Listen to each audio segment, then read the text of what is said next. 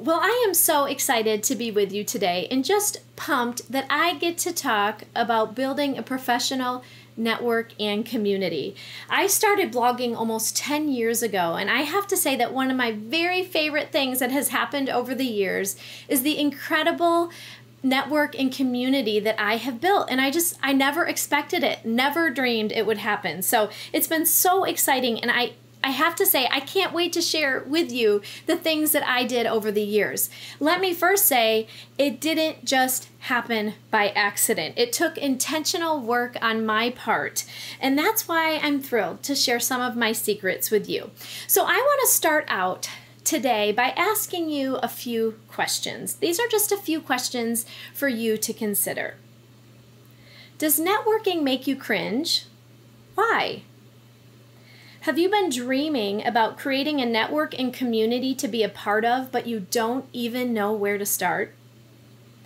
Are you in the middle of a season where you have tried to create a network and you just feel stuck? Well, you are in the perfect place because I think you will find what I share with you today helpful no matter how you answered those questions and no matter where you find yourself. So you're going to soon learn that if I can do this, you can do this too.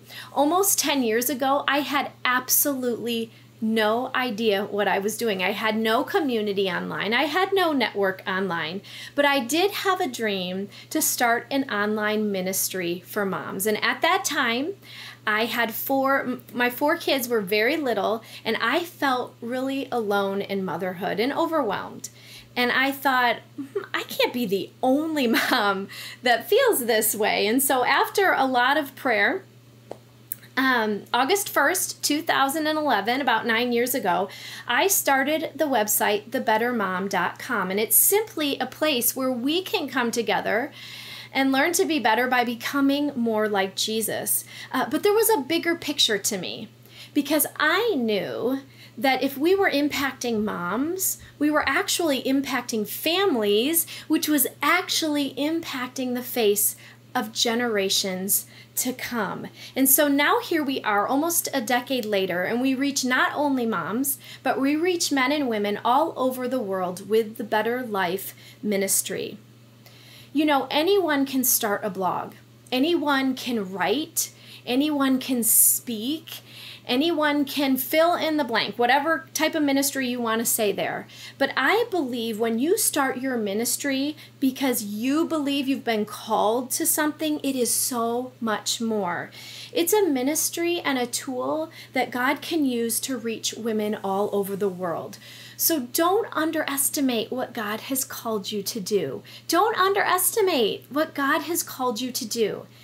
And I'm here to help. I want to help you right where you're at. So we're going to cover a lot of ground. I have my notes here because I have to stay on track because I want you to walk away from here feeling fully equipped knowing and believing that you can build that professional network and community community that you have always dreamed of. And I'm going to share three simple ways that you can build that network and community that you're longing for. And if we're all being honest, it's the network and community that we need. We need one another.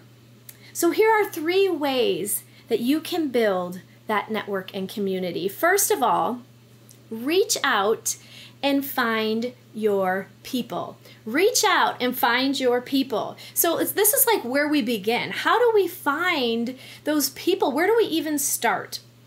Like I said, I had no community online. I was literally starting from scratch. I knew one person who was a blogger who I'd uh, who was my roommate in college, but that's it. So this at this point, this takes a lot of action, and you're going to have to work for this. So here is what I would say uh, under reaching out and finding your people. First of all, I would make a list of people that you follow or that you know that have the same passion as you or that are in a field that complements or makes sense with yours. So you're to literally make a list of people here, like one, two, three. You're making an actual list of people that you follow. Maybe it's just you love what they do and you want to support them. Um, for me, back when I started, this was I was looking for people that complemented my area of ministry. So I found someone who was creating these amazing meal plans. And she and I reached out to her and then she started creating the, those meal plans for my ministry for moms. And we have been friends ever since.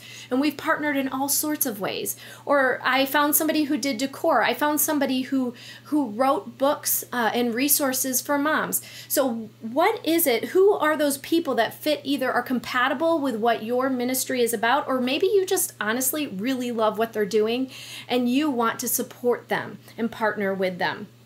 So, first, you're going to make your list of people. So, you're going to already have that list of people.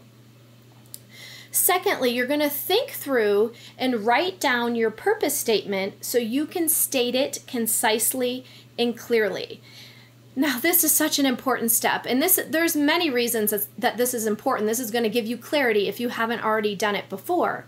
But you need this purpose statement because this purpose statement then you can just drop into messages and emails quickly, easily. This saves you from a long, rambling email where you're trying to describe what you do in ministry. Been there, you know, like I've been there, done that. That's why I'm laughing. Um, so, this really helps you narrow down and state uh, clearly and concisely what your ministry is all about. So you're going to focus on the felt need and how your ministry is solving that felt need. Here is how to um, figure out your purpose statement. Let me give you an example. So, first of all, is the problem. Write down what the problem is. So, for me, it was that I was over I feel overwhelmed as a mom. That's the problem. Simply stated, I feel overwhelmed as a mom. The people I'm reaching, the felt need I'm reaching, they feel overwhelmed as moms my solution for those moms, my the solution my ministry is offering. Here is a solution then. I show moms simple and meaningful ways they can care for themselves, their homes, their families, and ultimately honor God with their lives. So when that is my solution that I would state to anybody who I want to partner with in ministry, if I needed to tell them what my ministry was about, uh, my Better Mom ministry, I would say I show moms simple and meaningful ways they can care for themselves, their homes, their families, and ultimately honor God with their lives. Now, I do want to say here, if you plan on reaching out to businesses, I would alter this a little bit um, depending on what type of business you are reaching out to. So, I have another example of this statement that I use for some businesses that I reach out to. So, it might be like, it might sound something like this I show moms simple and meaningful ways they can care for themselves, their homes, and their families.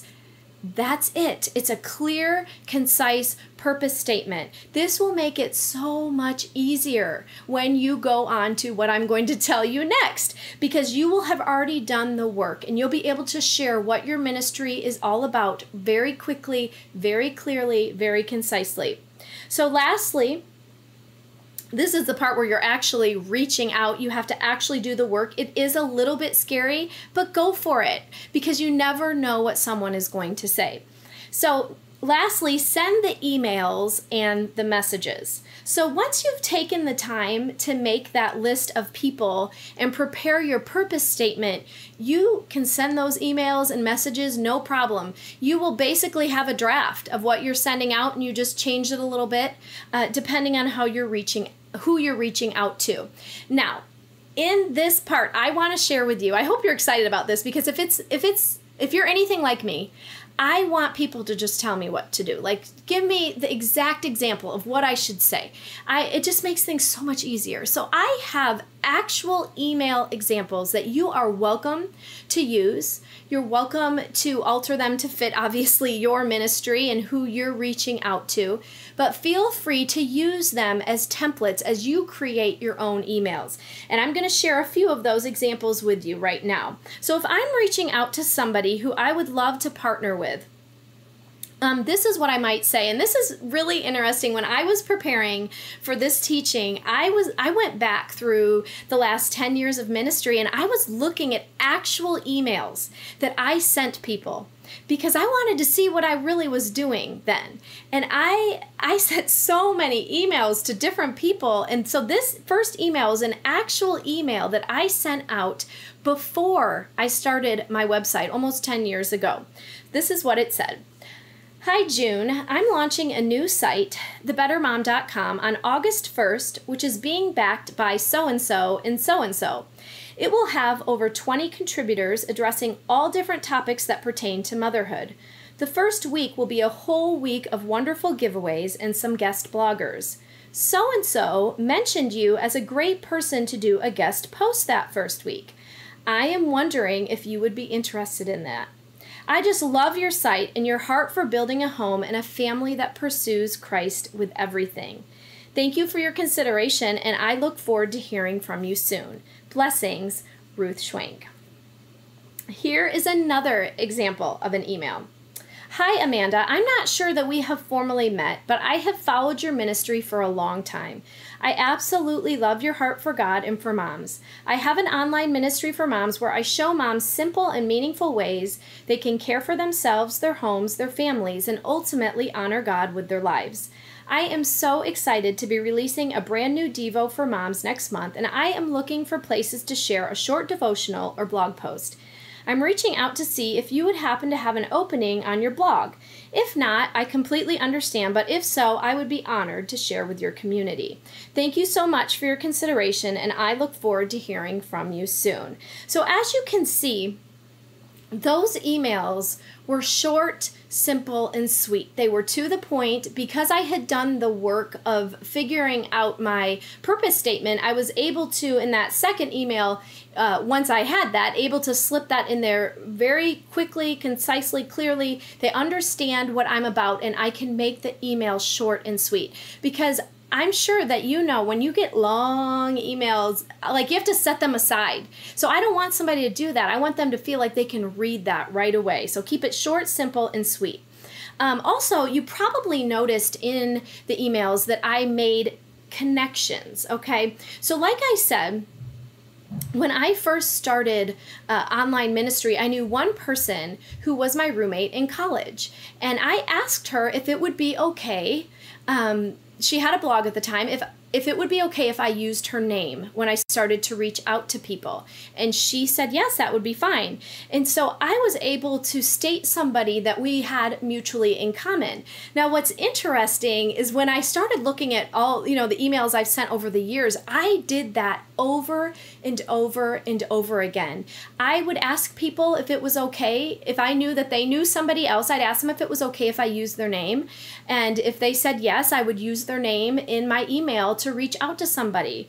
Because you have to remember when you're reaching out to somebody, they might have no idea who you are. So this right away built credibility. And I needed that because people didn't know who I was. And so I feel like making making a connection in your emails, stating somebody that you you have mutually in common, or maybe somebody recommends somebody else, you're able to say that, um, is a very very good thing to do um, really, again, I knew one person when I started, but then as I got to know more people and I knew that they knew somebody, then I would ask them if it was okay if I used their name to reach out to somebody. Um, here, if you feel like, I want to say, if you feel like you don't know anyone and you don't even know where to start with this, I would suggest joining a group like Proverbs 31 Ministries has called Compel. Um, this Compel is an incredible community of women in ministry, and there's a whole bunch of connections to be made there. And so, if you feel like, oh, I just, I don't even know where to start with this, I don't even know if I really know anybody, uh, join a group like Compel because there are so many women in ministry and so many connections that you can make there. Now, I do want to talk briefly about reaching out to businesses because I think there are some of you that do want to reach out to businesses. Um, I started reaching out to businesses when I right when I was starting online ministry. Um, this is something I did from the very beginning. And so these emails will look a little bit differently. Um, so I'm going to give you a couple examples. So first of all, this is an email, a very simple email that I would have sent out from in the beginning, something like this. Hi, I'm launching a brand new site for moms August 1st called thebettermom.com to show moms simple and meaningful ways they can care for themselves, their homes, their families, and ultimately honor God with their lives. I would love to share your resources with everyone. Our family has used your Bible studies for years, and we can't think of a better company to support. If you are interested, I'd love to talk further. Many blessings, Ruth Schwenk. Now, if you're further down the road, and you want to reach out to a bigger company, okay? So maybe you want to reach out to a really huge company. This took me a long time to understand what that email should really look like. And so I want to give you this template because this has really helped me. Once I put this together, this really helped me. So let me give you an example of what I would send out to a, a larger company. The subject line might say something like sharing blank, and that blank is whatever company you're reaching out to, with my audience of over 1 million. Hello, my name is Ruth Schwenk, and I am the founder of The Better Mom, where I show moms simple and meaningful ways they can care for themselves, their homes, and their families. With four children, I understand the struggle to try to keep it all together as a busy mom. One of my very favorite ways to encourage moms is to show them easy ways they can care for themselves. Skincare is at the very top of my list as I have diligently cared for my skin for years. I have used Blank skincare and hair care for the last few years, and it is fabulous. I would love to partner with Blank to create some posts perfect for moms who are looking for skincare that is not only affordable but good for them. I have an audience of over 1 million across social media, and I'd love to share your products with them. It would also be fun to take my audience behind the scenes on Facebook Live. I'd love to send over my media kit, and I look forward to hearing from you soon. Many blessings, Ruth Schwenk. Now, that's obviously from someone um, like me who has spent you know a long time building up an audience, reaching out to a bigger company. But um, you know, you can have a few hundred, a few thousand, whatever, and you could reach out to a bigger company with an email like that. You may have noticed that I mentioned a media kit, and I wanted to mention that on purpose because that is something that we hear a lot about if you don't know what a media kit is, it's simply a one page. Well, for me, it's a one page about my ministry with some stats on it. So I believe with your media kit, less is more. And to be completely honest, I, over the last decade, have used a media kit maybe three or four times, and it was only with very large companies. And so I would say if that's too much for you, you don't even want to think about it, go ahead and skip that because you know what? Over the years, what I have done has felt more personal. And all I've done is just reach back out if they've asked for some stats i've given given them some stats via email just listed a few there um, and it's worked fabulous i've worked with dozens of companies like that hundreds of companies probably so if you are interested in a media kit i'll make sure that you have access to see mine but the most important thing I believe with your media kit is that less is more. So that is reaching out and finding your people. Now, I think here in in reaching out and finding your people, every connection, the most important thing here is that every connection you make needs to be personal and genuine. Whether you're reaching out to a company or you're reaching out to an individual, you will build your network person by person. And it can't be all about me, it has to be about we. And it can't be all about what you can get from somebody. Um, or what they can do for you, but rather what you can do together. People will know that and they'll be able to discern that. So reach out and find your people. Next is stand out and set yourself apart. Now, I say this often, and I know there's a lot of people who say this, but I always say that who you are at home is who you really are. And we stand out and set ourselves apart by being trustworthy and worth standing alongside. Kindness and generosity is the name of the game here. It always wins. It's the mindset again where it's not about what someone can do for me, but what I can do for them, what we can do together. And that gets us far with people. Also, here, in standing out and setting yourself apart, keep in mind that we in the online world, people don't know you, okay? They don't know us. So we have to kind of break down that barrier. So I would recommend maybe you are in local ministry and maybe you do work face to face with people, um, but there's a lot of people in local ministry who still don't see people very often. I would recommend meeting up at coffee shops or doing, um, if you want to do something online, you could do FaceTime or Skype.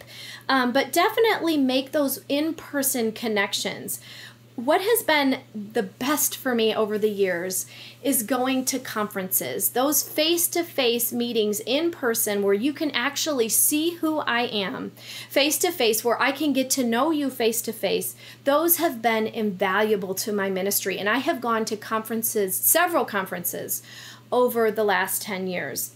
So when we stand out and set ourselves apart, our network grows because people are drawn to us and, and they trust us. And so we're going to reach out and find our people. We're going to stand out and set ourselves apart. And lastly, settle in and do the work. So you can't just make the connection and stop there. I know it it's tempting, but it takes time you have there's very few people that when I started 10 years ago in ministry that that are still doing there's very few people that are still doing it. Most people quit. That's just the truth. It's hard work. So you need to prepare yourself now for the hard work. Prepare yourself to settle in and do the work. Here are some things you can continue to do to strengthen and build relationships. And really that's what we're doing during this time that we're we're settling in and doing the work. We are taking the time to strengthen, make new connections, build relationships. So here are some ways that you can continue to do that. First of all, mastermind groups. And you may have heard of a mastermind group before. And these are simply groups of people who decide that they're going to support one another by sharing each other's content with their audiences. Maybe they pray together, support one another in, in some way. Um, so that's a mastermind group. Sometimes they're centered around something that people do. So maybe there's a podcast mastermind group, and, and they're all in that mastermind group so they can give each other tips um, on podcasting. Uh, sometimes it's just very random and it's just several different people that just really connected online. So find yourself a mastermind group to be a part of. Or go ahead and start a mastermind group and ask people to be a part of that with you. I, I know I already stated this, but online groups like Compel, uh, a group like Compel is the perfect place to continue to grow your ministry relationships. Lastly, strengthen your connections through generosity. And this is effective follow up. This is continued partnership. This is helping others. And it doesn't have to be complicated. I, I know that a lot of people are question, like, well, how do I continue partnering with people? It all seems like too much. It doesn't have to be. You can make it really, really simple. So, first of all, what I do here is I just honestly pay attention to what people are doing online that I feel like's working that would maybe work for my ministry, and I try to recreate that with people. Here are some ideas for continued partnership. First of all, you can do giveaways together on Instagram to cross promote your audiences. And you may have seen people doing that. I have been doing a lot of that over the last year because it's really working. And I feel like it's really building up my partnership with certain people. And this is something that I want to continue. Now, it's funny because I look back and when when I first started in ministry online, I was doing this on Facebook. I would partner with people. I would reach out and say if it was somebody that I really loved they were doing, I would ask if they were interested in cross promoting our Facebook pages. And so I would share on my Facebook page all about this person and tell people to go follow them, and they would do the same for me. So find ways that you can partner and cross promote your audiences share one another's articles on your social media accounts. So, whether it's a, a blog post or something that they shared on their social media, share that on your social media accounts. It doesn't even, it doesn't always have to be you share this, I'll share this. Well, I mean, just share it out of generosity and kindness if there's something that you really love. Or if you want a partner, I've done that as well, where you cross promote your, your blog posts or different posts on social media.